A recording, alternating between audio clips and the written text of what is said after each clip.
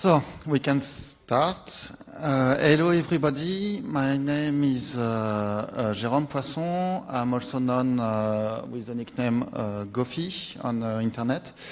Uh, before starting, uh, I just want to have a few words for the staff of the FOSDEM and of this Python dev room. We are close to the end of the FOSDEM and uh, it has been a great event once more, so thank you to everybody for uh, making this possible and for uh, allowing us to have a chance to talk to, uh, to you. Okay, so we have 25 minutes uh, to talk about uh, toi, which is a project on, which I'm, I'm working. It's uh, Python social network and more, we will see that, based on XMPP, as you can guess and uh, it's doing a lot of stuff. So I will first explain a bit the project, then we will see uh, what is behind the, um, under the hood, and after I will talk about uh, one of the new features that you can uh, use to make uh, some project of yours.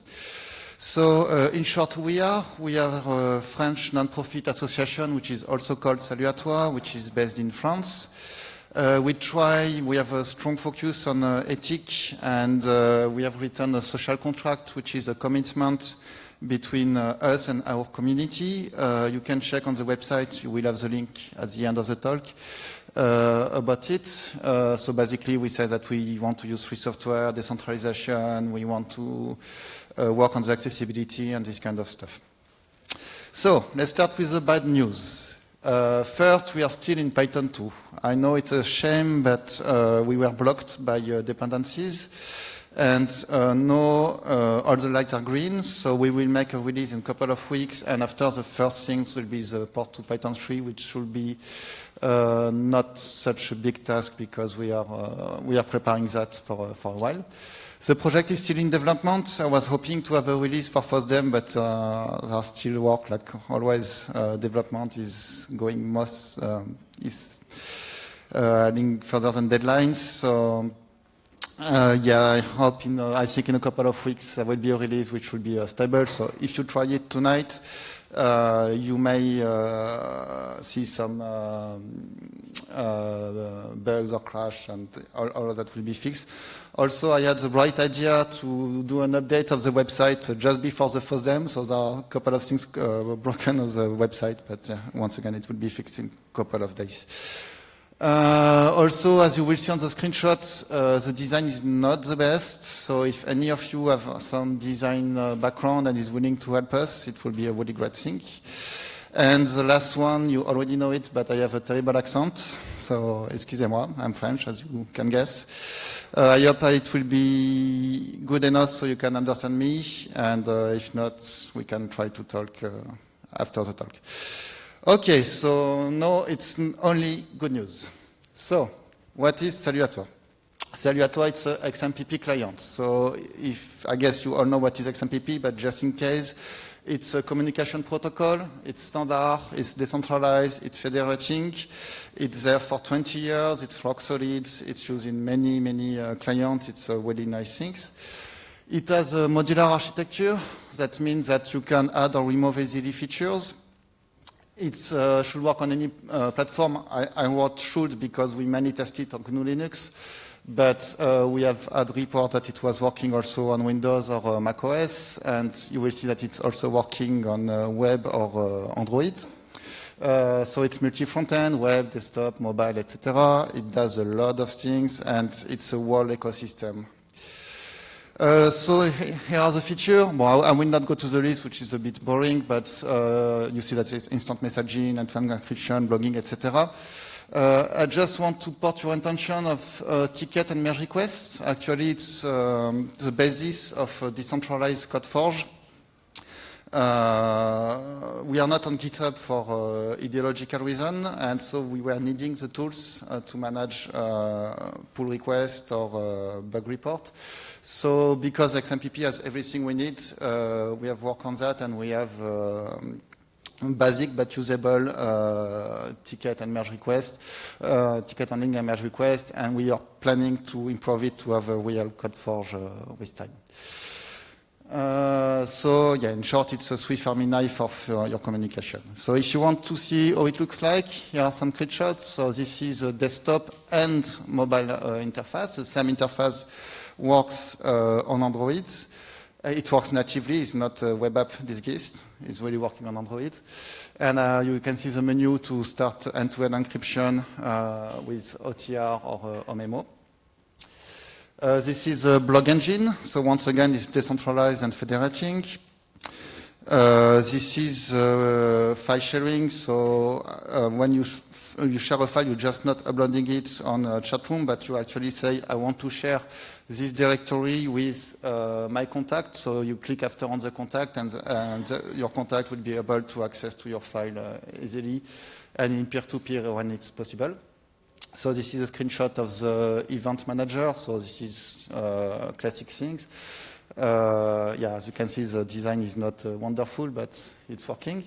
Uh, yes, we have an image, we see who is coming, and uh, yes, you can uh, send blog, blog message and these kind of things. this is ticket request, ticket manager, sorry. So yes, you can see bugs, feature requests, these kind of things. And this is a merge request, which is an extension of Ticket where you can attach uh, some code. And uh, once again, it's decentralized. And I think uh, today there is no other uh, uh, merge request uh, manager which is decentralized. I know there is some, some things which are being worked with GitLab and ActivityPub, but I think nowadays, nowadays there is nothing equivalent. And uh, yes, because we are in a dev conference, I also mentioned that there is a really uh, powerful command line tool uh, which allow, allows you to automatize things easily, uh, to work either in high level if you want to send a blog, or in low level if you want to work on XMPP client and you want to see the XML under and work with that. Uh, there is a system of hooks, uh, which is a way to launch a script uh, when some kind of event happens. For instance, somebody is blogging something about something, or somebody is entering a room and you want to have a script which is launched and with React at this moment. It's something a bit similar to if then then that service, but uh, more uh, geeky maybe. So let's talk about uh, what's under the hood. Uh, so of course, I'm here, so it's all in Python. Uh, so the main thing uh, you can see here, so it's a simplified overview of the architecture. So the project is this. It's an XMPP client which talk to uh, XMPP server like any client.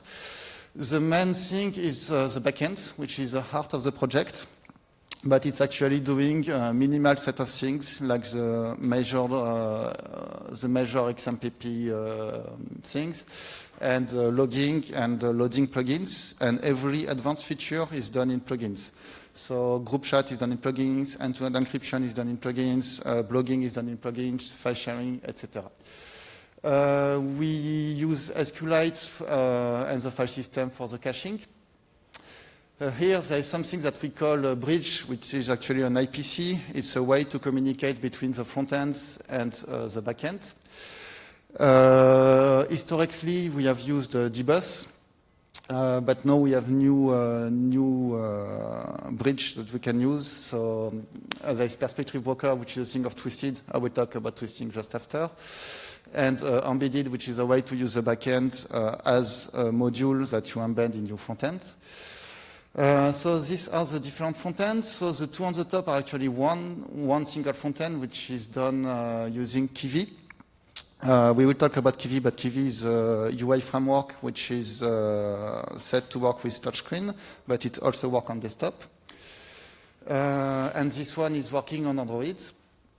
This is a web interface which is using Twisted again, I will explain after, and Jinja for the templates. We have a terminal user interface which is using Urwid. Uh, Urwid is a module to do uh, interface uh, like Anchor but in a far more thin way to, uh, to work with, and it's uh, really nice and flexible. So if you want to work with console, it's really the tool to use. And uh, the command line is uh, taking profit of the standard uh, argparse module. So, in the backend, uh, the main module that we are using in the backend is Twisted. Twisted is a framework to do async programming. So you probably uh, know more asyncio nowadays, but Twisted predates that for a long time. It's a really old framework, and it's really developed in the same way with a lot of tests. It's really rock solid. It's, I really uh, enjoy working with it because the code which was written 10 years ago is still working. There is no breaking chance. They are really uh, high on uh, backward compatibility, which is a great thing. It's not only using, uh, managing the async uh, event loop, it's also doing um, a lot of network things, uh, SMTP, FTP, DNS, etc. And XMPP, that's why we have choose that. And uh, Wokkel is an extension of Twisted, which improves the uh, management of uh, XMPP, so which implements some, uh, uh, some XMPP uh, extension. On desktop, uh, so as I said, I use uh. So Kivy, unfortunately, is not really well known. I, uh, it's my own feeling in the Python community, but it's a really great um, framework to do uh, interface, and it works on every platform. It works on uh, on Linux, it works on Windows, it works on um, on Mac, uh, it works on mobile and uh, and the team is very nice and welcoming. So uh, if you have a chance to start a new project, take a look at this project. And the team is also working on side projects, and one of them is Python for Android. So Python for Android is actually a set of tools to uh, first compile the Python interpreter to uh, to Android then to launch pure Python module, but you can also use a Python module which have C dependencies that will be compiled with the same toolset to Android. So it's, uh, it's working quite well. The performance are quite, uh, are quite nice. Uh, I will not have time to make you a demo of the, of the Android interface, but it's working well. And so, yes, no, not everybody knows that, but it's possible to do Python on Android. And actually, when I saw my interface and people asked me, uh, what is that? I said, it's Python. Oh, it's possible. Yes, it's possible thanks to, uh, to uh, Kivy and Python for Android. On the web. Uh, so on the web, we use Jinja, Jinja 2. Jinja 2 is a template engine which is uh, inspired from uh, Django, Django template engine, but a little bit more powerful. it just works. There's not much to say about that, except that it's a nice, nice one. Uh, we use Twisted again. So why I'm mentioning again Twisted is because Twisted include um, a web uh, uh, web server, sorry, HTTP server. So it's uh, quite powerful and solid HTTP server. So it makes the installation more easy. You don't have to install uh, Apache or Nginx if you want to use uh, our web interface, but of course you can use a reverse proxy if you want to do that. So, uh, and it's, it's also improving with support of HTTP2 and this kind of thing, so it's really nice to use uh, Twisted for that. On the front end, uh, we used to use um, Pyjama, which is a Python to JavaScript compiler, but for uh, various reasons that I won't explain now because it's too complicated, the project uh, died and it was also blocked on Python 2, so that was one of the reasons we were blocked to Python 2 so far. Uh, so now we are uh, working mainly on static web page, and the next release we will start again with dynamic page, and we are planning to uh, not stay blocked on one technology. This time we will have something open, and we plan to integrate uh, Brython, which is a Python uh, interpreter made in JavaScript, and it's working, working really well. And Transcrypt, which is another Python to uh, JavaScript compiler. So yes, you can also do Python inside the browser, and it's, it's working. Uh, of course, it's not as quick as JavaScript, except for Transcrypt, which is doing JavaScript actually. But uh, it works really, really well, and it's really usable, and you can have um, Python console inside your web browser.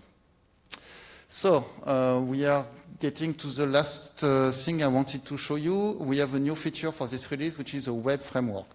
So why, do, why yet another web framework? Actually, it came naturally uh, when we were uh, reworking on the web interface.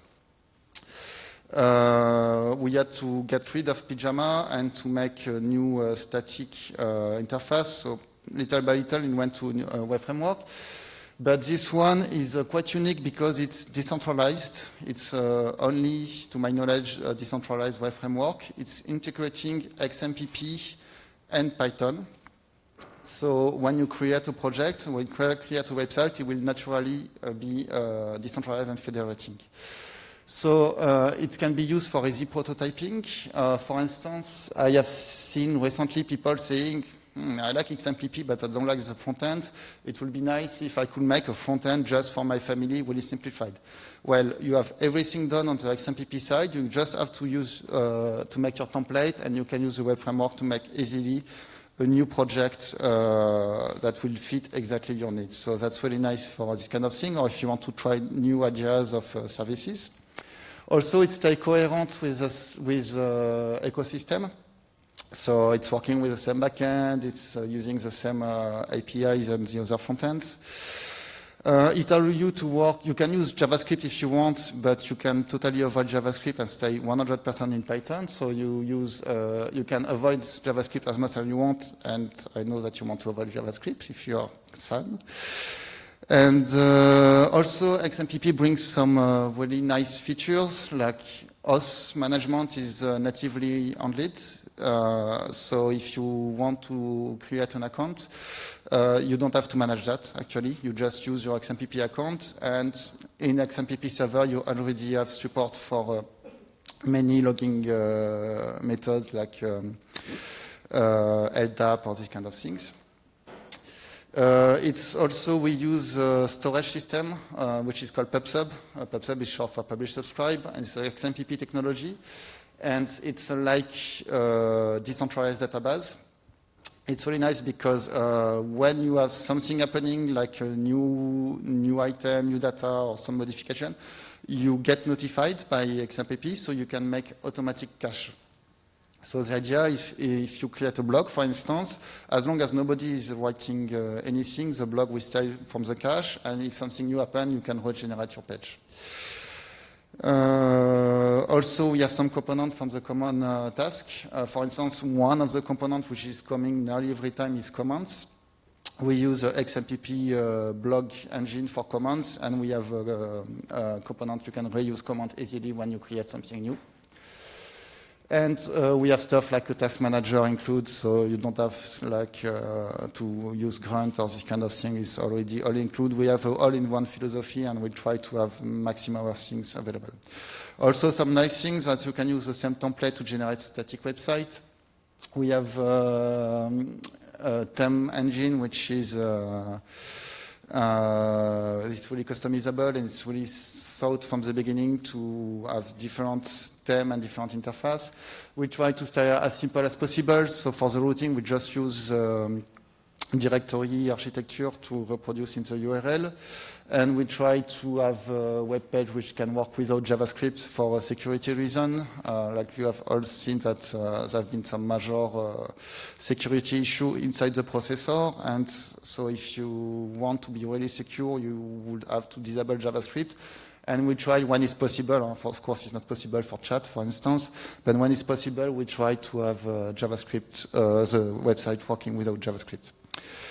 So that's the conclusion. Uh, I think we have some time. I have lost. Uh, yes, we have some time, so I will show you a short video um, to see it in action. So yes, as the conclusion, SAT is a universal communication tool which link uh, decentralization, standardization, and Python. Uh, here are some useful uh, links. Uh, so on the top, this is a website and uh, the demo, which is, I think, broken. No, I will fix it, sorry. My blog, when I explain uh, the experimentation we are doing and uh, sometimes with some technical details and kind of stuff. Uh, and we are looking for a contributor, so if you can help for development, packaging. Ah, by the way, we are available uh, on on uh, Debian, uh, not for the uh, desktop interface, but at least for the command line, and we are on Debian. And on Arch, Arch, Linux, we are also available, and system with web and desktop interface. And yes, dog translation, etc. Thank you for attending, and I will show you just a short video.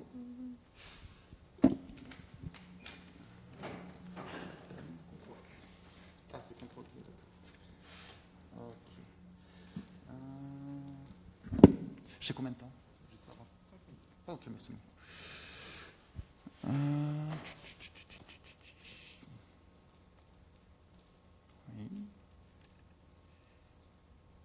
Okay, so this is an example of file sharing. So you just uh, you just go to your directory, you select one of uh, your directory, you click on it, you say I want to share, you say who you want to share with, just click. It's easy, and your uh, directory is shared, and you can access it. And I think I show yes, and this is for the web interface, so it's another account it's going to the shared file and you can click on it and you can, uh, yes, you can access the video from your uh, browser which was shared from uh, the desktop interface.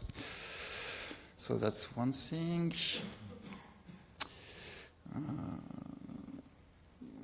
Uh, this is another um, fun feature, like it's a bit similar to KDE, KDE Connect.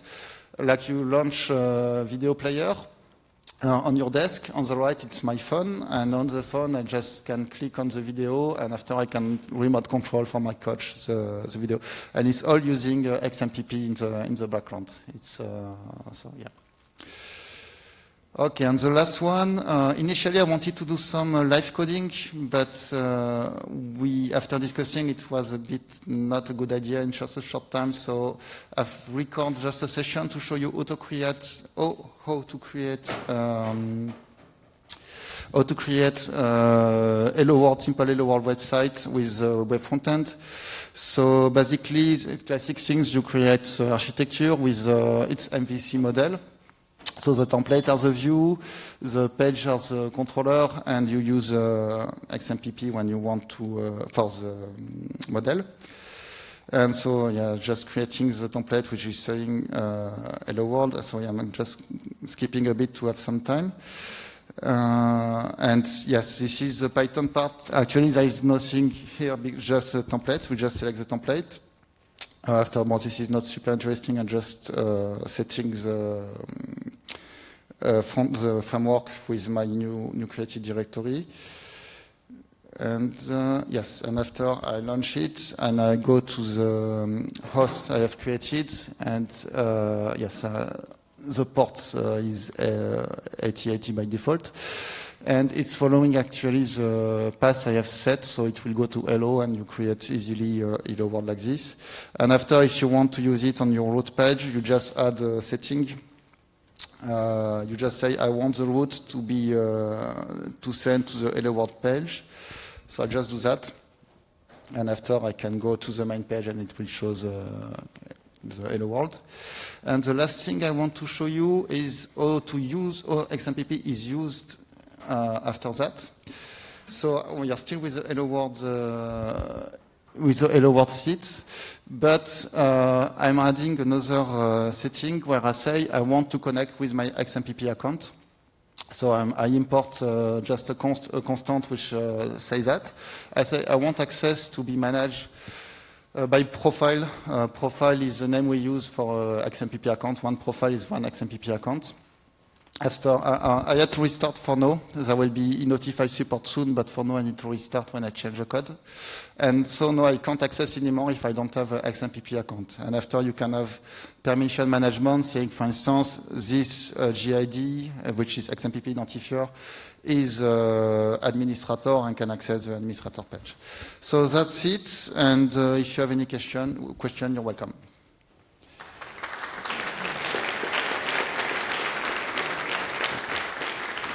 Can I show the links? Uh, je, Elle est où la conf Je vais juste remettre les liens pour que les gens ils puissent euh, voir pendant les questions.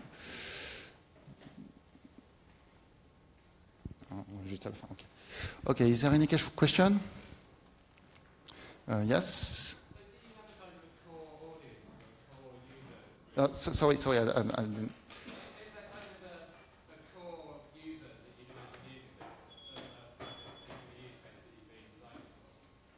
Uh, I, don't, I don't get. Uh, T'as compris là I'm, I'm sorry, I'm. Uh,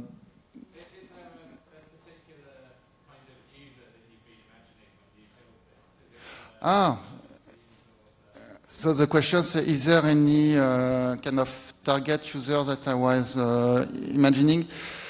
Actually, no, it get built. Um, I have some, initially the idea was to, to have some building tools to create, to have more, uh, more, uh, to have a tools to create more things after.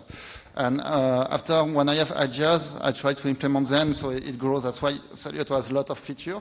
But the nice things about that is uh, it's really easy when you have something to reuse it after. So for instance, the blogging, it, it was made, but after I had comments everywhere. And the ticket I could reuse to make merge requests. So yeah, that's, uh, that's the only one approach kind of thing. Hmm. Any other question? Yes?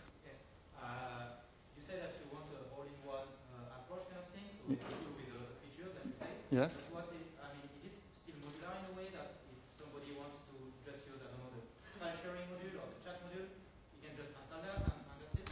So the question is, uh, you say that you want an all-in-one uh, module, but is it possible to plug with something uh, something else or to have? yes, it's absolutely possible, and we don't want to have uh, one ring to rule them all. Uh, like uh, if somebody wants to use uh, Converse or, uh, or something else, we, we absolutely op open to that.